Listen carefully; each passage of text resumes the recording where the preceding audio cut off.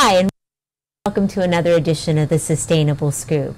For all the different types of energy sources and the ways to deliver it, most consumers are concerned about one thing flip a switch and the lights go on. Joining me to talk about energy and reliability today are Carla Fleming. She's the Director of Marketing for Leaders in Energy, and Carolyn Slaughter. She is the Director of Environmental Policy for the American Public Power Association. Welcome, ladies. Thank you Thank for you. having us. Well, education and marketing, you're trying to get people to talk the right language, mm-hmm. thinking about the different sources. How do you get the message out about about energy? Well, at Leaders in Energy, we really are about connecting people. So we do it a number of ways. We do it through our online group through LinkedIn, which is Leaders in Energy. We also do it through offline events. So every month we have a series of events that we pick a different topic and talk about um, energy from that perspective. We leverage social media in that discussion to broadcast the message out uh, to folks. Um, we also leverage email in terms of our distribution list to get the message out. And we are also blogging. Uh, it's one of the things where if you come to our website, and you look at the blog, we've got everything on a history of um, biofuels to talking about finance issues uh, to talking about what's going on with um, you know energy from the perspective of um, how do you looking at it from an entrepreneurial perspective Right. Then, you, of course, everyone's debating climate change. Exactly. They're debating new policy. Exactly. And of course, we're dealing with things like uh, weather changes. Exactly. So when we think about weather and the issues around that, we're really trying to get at what moves that issue. Why do people care? What is the impact from an energy perspective? And how do we build resiliency in that whole process? And that's one of the reasons um, for our event we had Carolyn. Carolyn, tell us a little bit about the American Public, or I'm sorry, the American Public Power Association, and how your work is affecting um, climate change and also uh, reliability. Thank you for the question. The American Public Power Association actually is the national service organization representing over 2,000 community owned public utility systems across the nation, representing over 4 million customers uh, in the United States.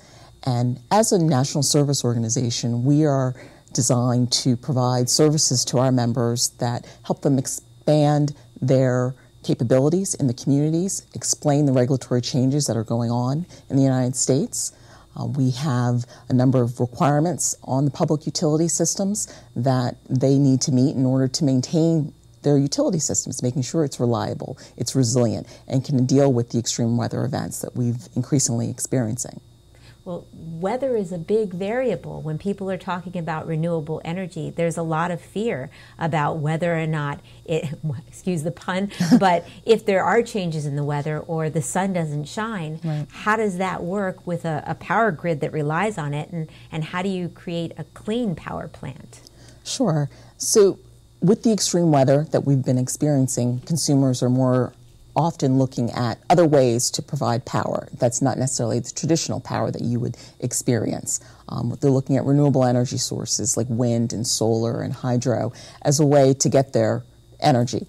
And with the advent of these technologies, the electric utility system has to be very resilient. It has to deal with storms and it has to provide opportunities for consumers to get back their power at their homes, at hospitals, and um, major critical infrastructures. And so we found ourselves kind of in a situation that you're looking at renewables, you're looking at traditional power sources, and then we have the advent of environmental requirements that are coming out. And they're driving the industry to be more conscious about the types of choices that are out there for consumers. Um, for example, last Monday, the administration, President Obama's administration, issued its final rules for CO2 emissions for existing power plants. And as part of that plan, the administration includes uh, renewables as a major way to get to the goal of 32% CO2 reduction by the year 2030.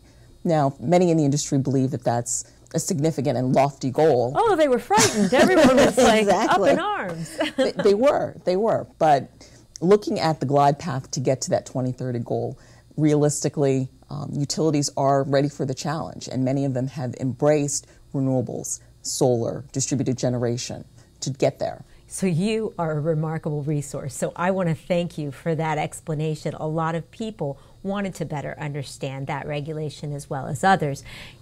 Is this the kind of speaker that you have at your events? Is this what people look forward to?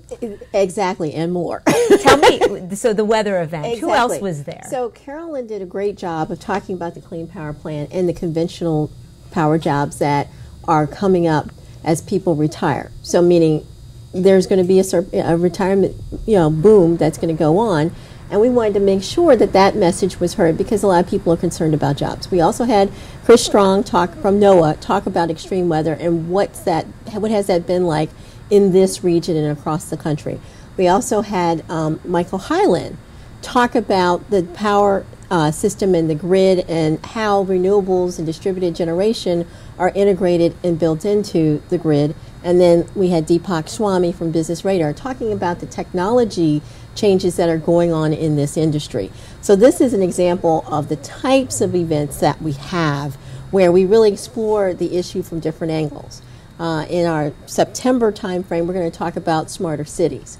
And we're going to really get into how do you look at the um, building a smarter city? What are the components of it? And we'll also have someone from the Netherlands talking about what they're doing um, and leading that charge. this, this is important because we are doing so much development and people are kind of reinventing their cities. But I want to ask you, Carolyn, before we go, from a human rights standpoint, why is this an important issue that, that people need to be concerned about? Well, affordable electricity is a necessity for, for many communities. Um, public power, in particular, addresses the community needs. And so, in that regard, public power facilities look to those communities to make sure that they're provided low cost electricity and it's reliable electricity. I mean, for a variety of reasons, for health benefits, for um, assisting in making sure students have good education. Well, I, I think that that's one of the things that is often forgotten. So I'm glad we talked a little bit about that. I want to make sure people go to your websites and learn more about your organizations and attend your events. Join the LinkedIn. I want to thank all of our viewers for watching the Sustainable Scoop. I'm Miriam Gennari. Back to the news desk.